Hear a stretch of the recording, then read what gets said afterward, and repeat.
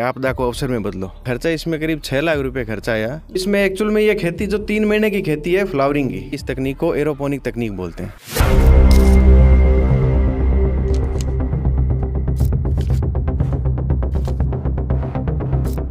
बीकानेर में भी हो रही है कश्मीर के जैसे केसर की खेती। नमस्कार, मैं हूँ सुमेशता बिश्नोई और आप इस समय देख रहे हैं ट्रिपल एस न्यूज़ बीकानेर में भी कश्मीर के जैसे केसर की खेती की जा रही है। हमारे साथ में इस केसर की खेती को करने वाले जो मालिक हैं, वो जुड़ चुके हैं। आइए उनसे जानने का प्रयास करेंगे कि किस प्रकार से आपके ये जो है दिमाग में ये केसर की खेती करने का आइडिया आया।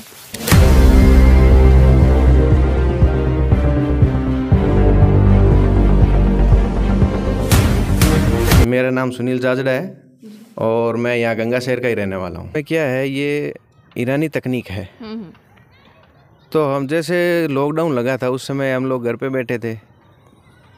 तो मोदी जी ने एक बात कही थी आपदा को अवसर में बदलो। तो उसी को हमने थोड़ा सीरियस ले लिया वो बोल सकते हैं।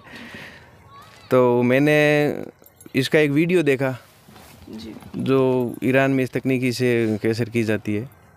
तो फिर मैंने इसकी जानकारी जुटाना शुरू करी 2020 से। और 2020 से मैं इसके ऊपर काम कर रहा हूँ। कई कृषि वैज्ञानिक हैं उनसे भी मैंने संपर्क किया। और जो बीकानेर की एग्रीकल्चर यूनिवर्सिटी है उनसे भी संपर्क किया। तो मेरे को ये जानकारी मिली इस तकनीक को एरोपोनिक तकनीक बोलते हैं। तो फिर इस तकनीक के बारे में जो भी मेरे को जानकारी मिली धीरे धीरे मैं जुटाता रहा। और 2023 में मैंने इसको पूरी तरह से इम्प्लांट किया और मेरा पूरी तरह से सक्सेस रहा ये। केसर की खेती मैदानी इलाकों में करने के लिए कई तरीके की वैज्ञानिक तकनीकें अपनानी पड़ती है।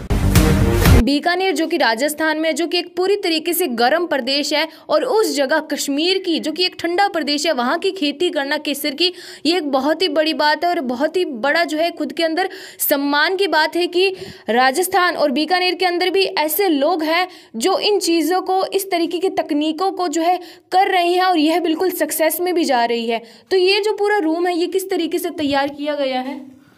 जी मैडम इस रूम को तैयार करने के लिए मैंने सबसे पहले तो इसका टेम्परेचर मेंटेन कैसे रह सकता है? इसके ऊपर मैंने थोड़ा काम किया। और इसको थोड़ा आदमी की जेब पे भी भारी नहीं पड़े। उस हिसाब से भी इसको मैंने डेवलप किया है। तो पहले तो इसे ये जो लगा रखे हैं इसमें इंसुलेटेड जो फॉर्म है वो लगाए हैं। और उसके बाद में लकड़ी के रेकें बनवाई। जी।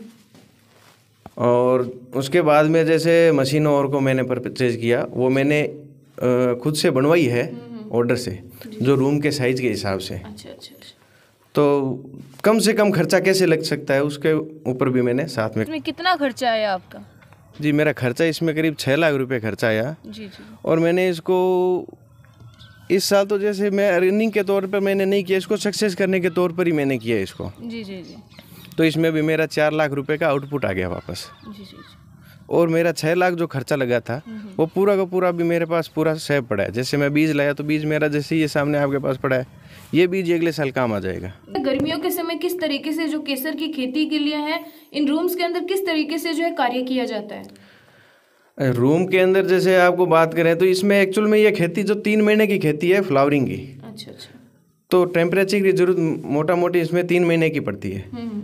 तो पाँच डिग्री से मिनिमम और उसको बीस डिग्री के क्राइटेरिया में सेट रखा जाता है। वो अलग अलग टाइम पे अलग अलग टेम्परेचर रखना पड़ता है। देश में बढ़ती बेरोजगारी को देखते हुए भी यह फ़सल जो है एक रोज़गार की तरह अपना एक अवसर रखती है।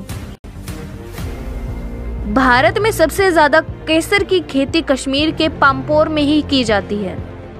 कि जैसा हमने देखा कि आपने जो है ये फूल या फिर जो भी जो है वो बाहर लगा रखे तो अभी आपने बाहर क्यों लगा रखे? बाहर बिल्कुल सही हो जाएँगे या फिर इसको दोबारा से अंदर लाने की ज़रूरत पड़ेगी यहाँ पर रूम के अंदर? हाँ तो एक्चुअल में क्या है इसको अभी बाहर ये अभी प्रोसेस इसका बाहर का है। अच्छा अच्छा। अभी जो टाइम चल रहा है इसको बाहर लगाना पड़ता है। अभी बीज मल्टीप्लिकेशन का टाइम चल रहा है।